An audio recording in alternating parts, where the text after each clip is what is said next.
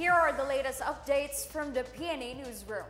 President Ferdinand Bongbong Marcos Jr. orders the transfer of TESDA from the Department of Trade and Industry to the Department of Labor and Employment. Marcos signed Executive Order number 5 today highlighting the importance of rationalizing the functions of government agencies that have complementary mandates.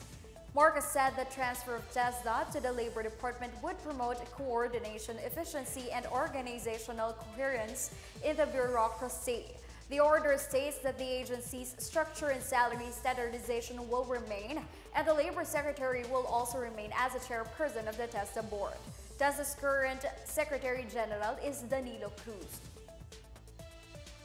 The Health Department says the end of COVID-19 pandemic is near.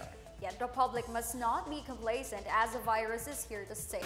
In a press briefing, DOH officer in charge Maria Rosario Vergeire underscored the need to further strengthen the country's healthcare system and the immunity of the Filipinos. She said the country must continue its testing efforts, maintain clinical management, vaccinate more of the target population, and implement continuous risk communication to the people, as recommended by the World Health Organization. OCTA Research Fellow Dr. Guido David, meanwhile, reported a decline in COVID-19 cases in the different parts of the country, except for Metro Manila, Bulacan, Rizal, Pangasinan, and Cavite, which noted an uptick in cases. David said amid the easing of a face mask rule, more Filipinos showed their preference to still continue to wear it. And the big aspect of this is what David calls personal responsibility. In a survey, 60 to 70% of the Filipinos still want to continue wearing face masks for protection. The country's third monkeypox case completed home isolation on September 8 and has now fully recovered. Department of Health Officer in charge Maria Rosario Vergeire said the case was certified recovered by a doctor and the 17 close contacts completed their quarantine period with no symptoms.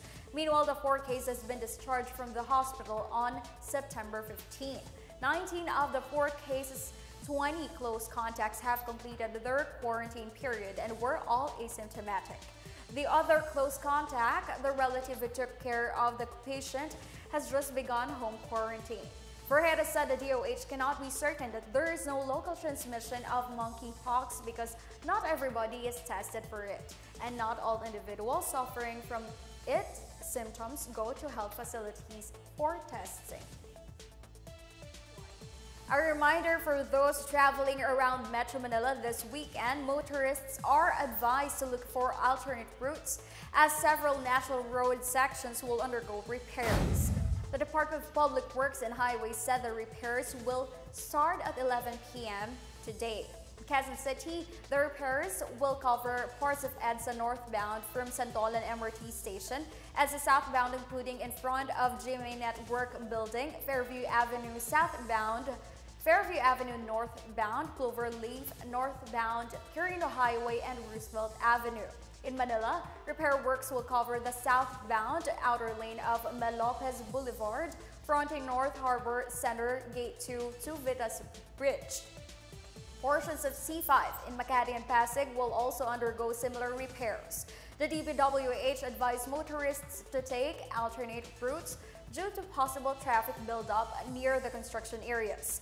The affected road lanes will be fully passable on September 19 at 5 a.m. That's the latest and the biggest stories from the PNA Newsroom. I am Stephanie Saviliano. Good day.